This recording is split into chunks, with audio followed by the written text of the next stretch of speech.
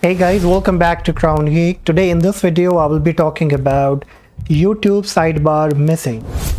So if your left sidebar of your YouTube or the right sidebar that comes while playing the video, if it's missing, if you cannot see it, if it's not showing you up, then what can be the reason and how you can fix it okay so i will be starting with two basic causes okay that is very basic but still you need to check okay in fact i can say three because i would recommend you that please restart your browser application before proceeding to the steps now the first thing the first basic step i would say that if you see only these four options on the left hand side so the this is the left menu bar of the YouTube that comes on the home page.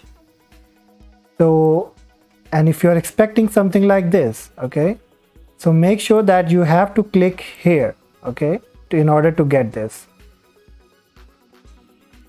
So sometime probably you click on it and it does not come up. So make sure that you click on this three line and it will come up with this option.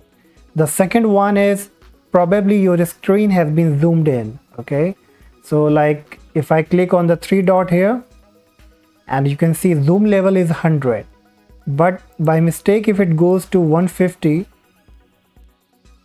even you won't see those options like even if I click here then it will come up. But if I go to 200 or something I'm sorry 175 you can see that the those option has also been gone. So there are many people who want the bigger screen and in that period of time when they look for it they don't find it. Okay? So if this is not the case in with you if uh, there is nothing such problem with you then i would recommend you that please sign in with your google account to your youtube. If you have not signed in then please sign in with your google account and then try again. If this still doesn't work so let me open any video for you.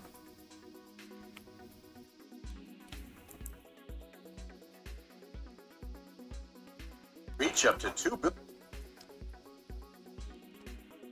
now see that uh, the left side bar won't show because it only display on your uh, on your home page but it still it can come when you click on the three line okay now if I talk about the right sidebar, you can see I'm not getting the suggested videos because I have installed the extensions.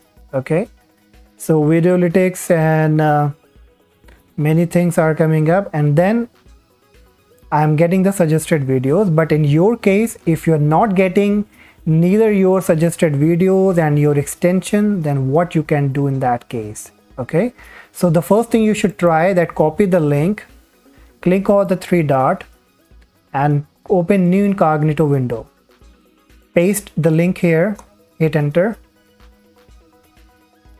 and I'm sure that this will fix your this will fix your problem the extension won't come up but yes the suggested videos the right sidebar will properly work. And even if you go to the home page you will properly see the left sidebar and everything like this okay? Now if you see that it's working fine in incognito mode but you might be thinking that till when I would be using incognito I want the same thing in my regular uh, Chrome browser in YouTube so in that case we need to go with basic clearing. We have to clear the cookies and the site data of YouTube. So for that click on the three dot again. Click on mode click on settings. Then click on privacy and security, site settings, scroll down to cookies and site data and here you will see an option see all cookies and site data. Now from here we need to only clear youtube so just type and search youtube. And then you need to clear all these cookies and site data by clicking on this trash icon. Once done just simply restart your browser. And if still this doesn't work then try clearing all the browser history. So again for that click on the three dot go to settings and again on privacy and security and here you will find clear browsing data. Now here I would recommend you go with advanced time range choose all time leave password and autofill form data and then click on clear data. It may take some time if you have a lot of junk and storage so wait for some time and then restart your browser. Okay? You can also try resetting your browser by clicking on advanced and going to very bottom. Here you will see restore settings to their original defaults. And then you get an option of reset settings. So click on it and this will definitely fix your problem. If the sidebar is missing is not showing so everything will be fixed out so guys if this video was helpful and if you like the video so please subscribe to the channel for more upcoming related videos for tips. So definitely you will be enjoying more upcoming videos. And also please like the video and share with other people. Thank you so much and i will see you in the next session. Bye bye